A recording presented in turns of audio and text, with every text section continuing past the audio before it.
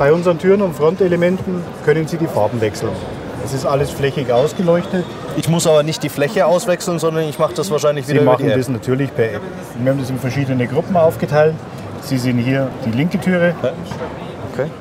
und hier ist die rechte Türe. Das probieren Sie am besten selbst aus. okay, das heißt, ich drücke jetzt einfach hier drauf Einfach nur das Farbrad antippen. hier machen wir blau. Blau finde ich immer super. Oder rot. Durch antippen. Durch antippen.